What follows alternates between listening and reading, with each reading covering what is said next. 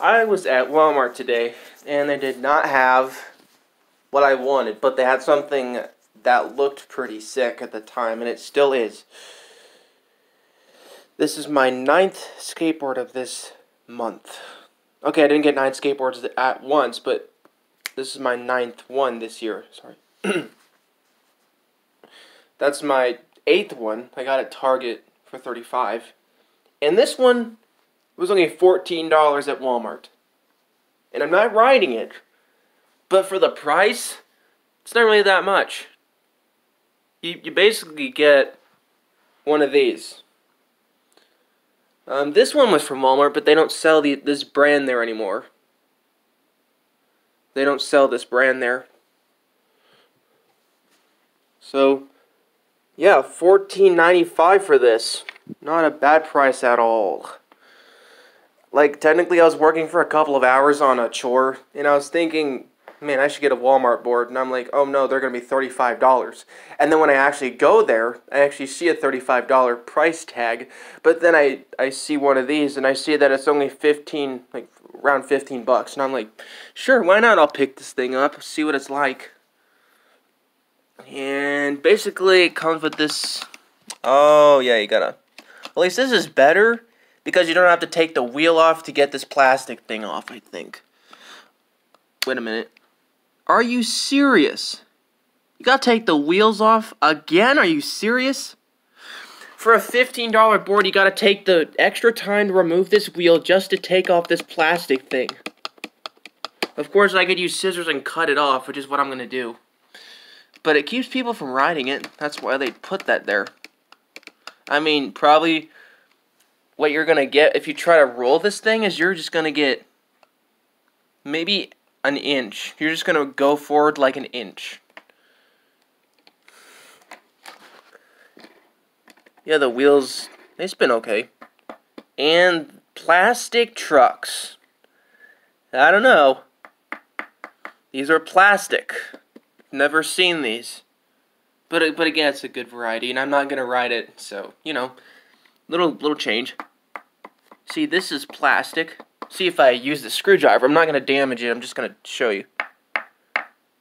This is a plastic sound, and I'll show you what a metal sound is. They sound different. That's aluminum. These are plastic. Kind of knew they were plastic a little bit by the looks of it. My here.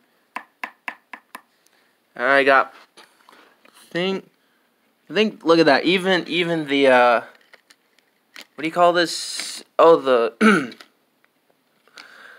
no, the wheels are really made of polyurethane. I mean.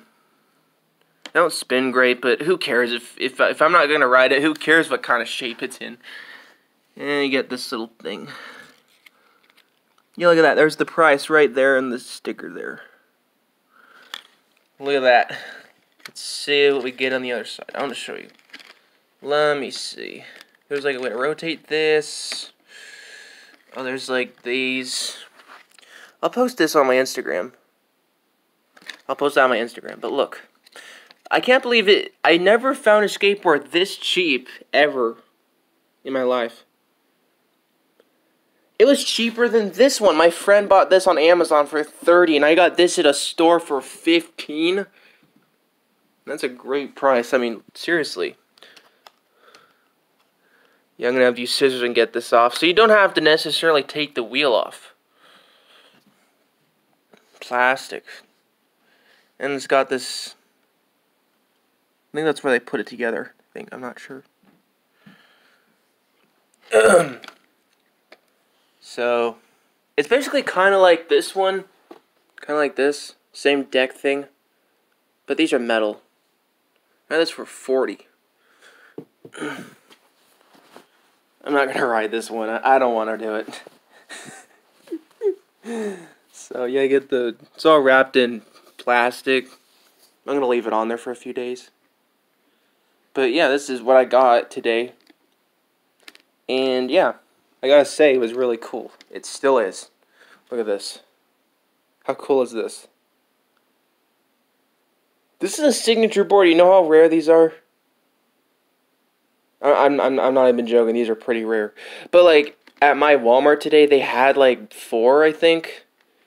And they were all $15. And I'm like, geez, they're not making much money off of these. So I liked it better when they had this brand and they were like 35 because I could have bought one.